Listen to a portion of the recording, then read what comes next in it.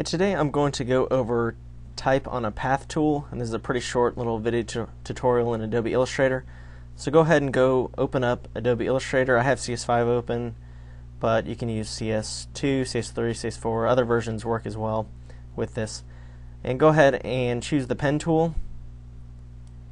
And I have another tutorial on that, so check that one out if you want a little bit more information about the pen tool. But um, just pretty quickly, just click and let go then click and let go and drag and then click again and drag and we'll just make kind of a wave here. Alright. Now on the text tool click and hold onto it and go to type on a path tool. It's the third one down when you click and hold. And if you hover over right above it you'll notice it turn it uh, changes a little bit the cursor when you go right over the path here. So I'll go ahead and click and the fill and the stroke of that uh, path disappears and we just have some text here. So I'll just type in photo, let's see, maybe Photoshop tutorials and tips.com. You type in whatever. You do Control A, uh, Command A on the Mac, Control A on the PC. That will select it all, or you can click and drag over it. And you can change up here on the pal- the uh, control palette. If you don't have that open, go to Window, then Control, and you can change the font size as well, and the font style and all that. And you can, of course, press space bars and push it around. And let's change the font here. Just choose something random. Okay. And what's pretty neat is you can click the direct selection tool, the white arrow, and click and drag just near the beginning, and it pushes where this text begins.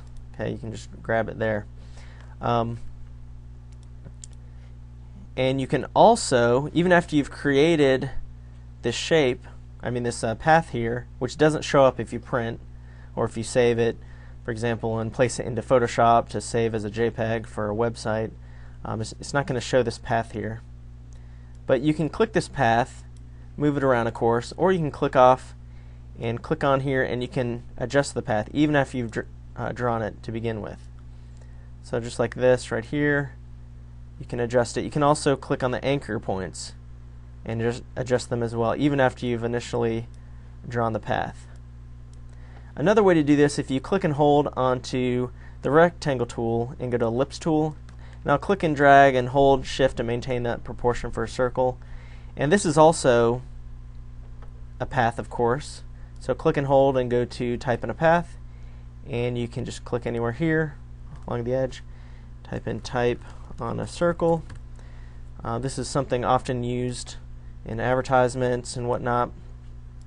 And you can also uh, do the same thing here. You can of course add spaces or whatever or you can use the white arrow and move it over. It can go all the way upside down and different settings there. And just make sure the font matches you know, the theme of the advertisement or whatever you're decorating for. And designing the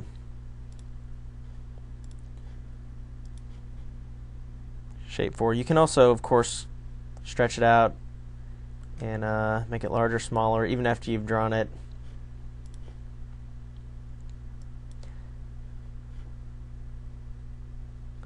Now if you select it with the black arrow, the selection tool, you can drag around the entire shape. You can also use the white arrow and just click on this right over here. See how that little uh, point sticking out there? And if I drag it in here, you can actually type on the inside of a circle like this. So if I drag it in. So then you have type on the inside of the path instead of the outside going around. And if you wanted one on the outside, one on the end, you could just make two circles, or you could actually alt click this on Mac. It'd be option click it, and that just duplicates it. And you could adjust that however you need be.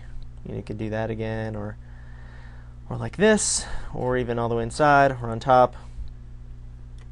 You know, whichever. And then you could just put them on top, just like that. You know, depending on what kind of look you're uh, going for. This is how to create type on a path.